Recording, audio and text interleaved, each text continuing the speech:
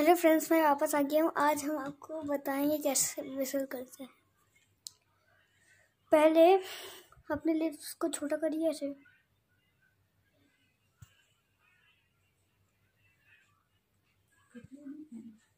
उसके सॉरी मेरी मम्मा, मम्मी थी। उसके बाद फिर हमको मुँह छोटा करके धीरे धीरे अंदर हवा लेनी, जैसे ऐसे।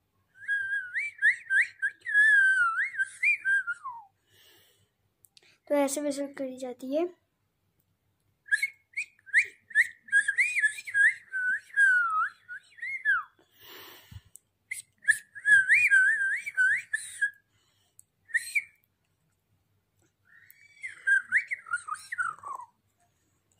ऐसा हम चिड़ियों की भी आवाज़ निकाल सकते हैं। आपसे आप हो ना पाए तो आप ट्राई करिए, हो जाएगा आपको। बाय